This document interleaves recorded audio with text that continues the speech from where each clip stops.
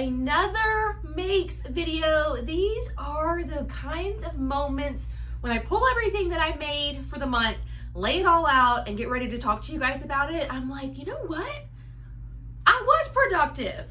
As you may have seen or read or heard, I have been sick pretty much the entire month of July. It's been one of those sicknesses though where I have felt terrible, but I've still had a lot of energy.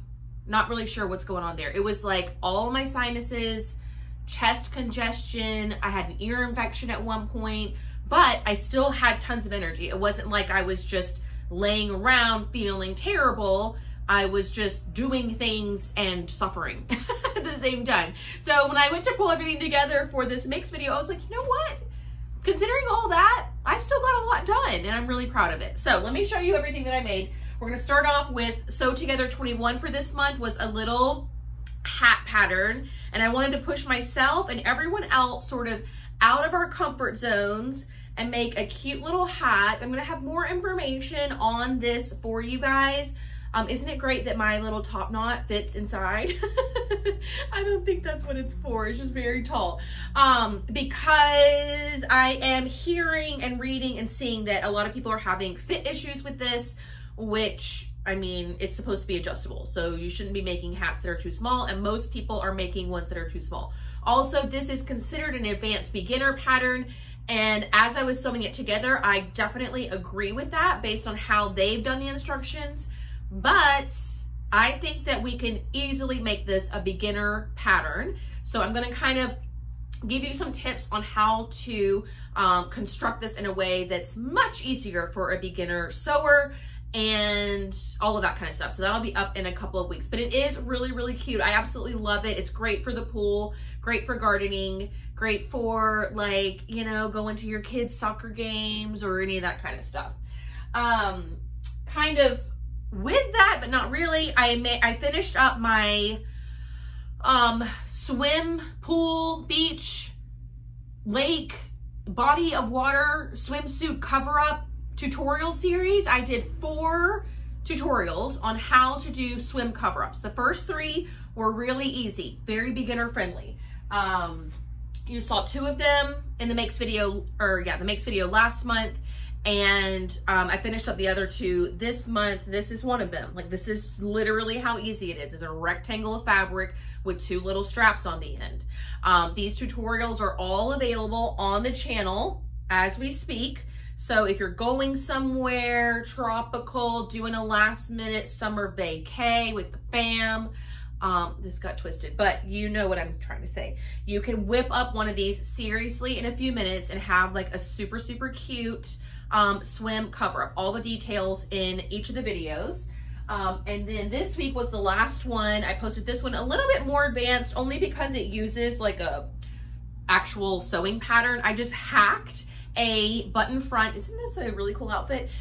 really, uh, a button front kind of oversized pattern, dress pattern, um, and then hacked it with this really cute kind of see-through crochet trim. All the instructions on how to do this um, and how to like kind of hack your button front dress pattern to be a swim cover up, all in that video. Um, this one started out with the Megan Nielsen Darling Ranges dress, which is just such a cute, cute pattern. Um, so that is like my summer series. That's what I, the big tutorials that I did for this summer um, were the swim cover-ups. There's four of them, so go check them out.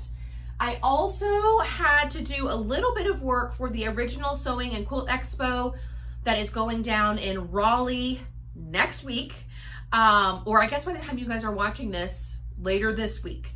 Um, I'll be there Thursday and Friday teaching a bunch of classes, one of which is this basic tee.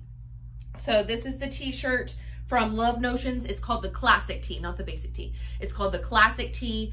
I will be kind of doing a Serger 101, Serger Basics, kind of become comfortable using a Serger class um, featuring this t-shirt pattern. So I needed to go ahead and make up one. So A, I know how to fit right. B, I know how to teach people how to sew it.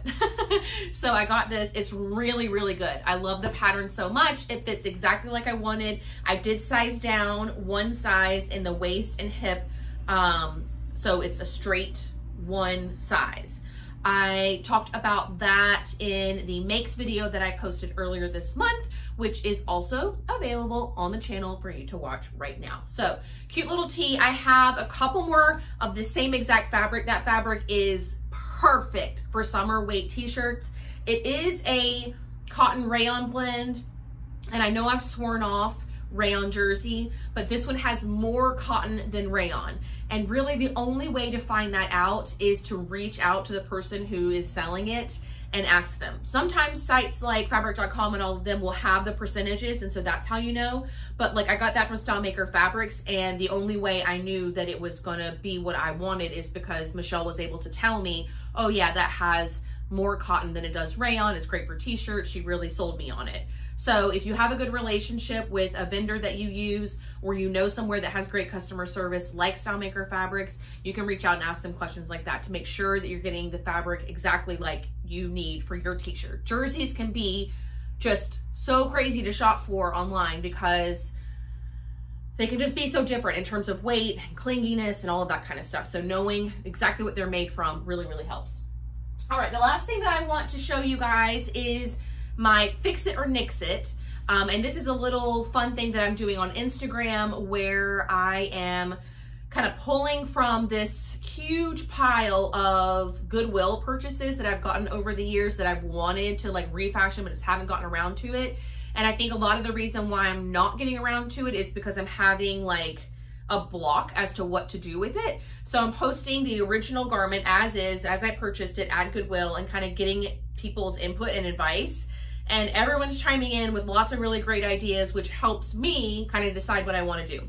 So I started out with this like long, straight 90s dress, but it's denim, which I love, and it has um, this really great embroidery on the hem, which I also really loved. So I took the dress, hacked it into a little peplum top, which is adorable. All of this was done by the manufacturer. All of this was done by me. And then I also made a little skirt from the bottom half of the dress that features that really pretty embroidery. So I was able to make like a little two-piece set. You can't really wear them together because it's like the peplum plus the elastic skirt is kind of like I don't, a lot of poof here, which I don't really like, but separately they're adorable. I've worn this peplum top with white shorts more times than I can count already. The skirt with the t-shirt that I just showed you guys also in heavy rotation right now. So really, really cool that I was able to get that done. I'm continuing Fix It or Nix It. So if you want to participate in that, you got to follow me on Instagram. If you're like, I don't have an Instagram, I don't want to start an Instagram, just get one. You don't have to follow anybody but me. And you can be private, no one will ever find you, and then you can still have all the fun and participate in all the cool things that we're doing over there. I just can't do everything that's in my brain. I can't do it all on YouTube. Just sometimes it doesn't make sense. Um, so it's a fits a better format over there on Instagram, which is why we're doing it that way. Anyways, all right, so those are all of my makes um, for this month. I have a lot of fun things planned for August as well. Um, so stay tuned for my plans video that will be coming up, I guess, in a few days or so. Um, and if you're going to be at in Raleigh, I cannot wait to meet you. I cannot wait to see you. Um, I'll probably be wearing a lot of the stuff I just showed you. well, not the swim cover-ups, but I'll have some of those other things um, in hand. So it's going to be a fun uh, week. I can't, I can't wait. So uh, yeah, that's going to do it for me today, y'all. Thank you so much for watching, and I'll see you very soon. Bye.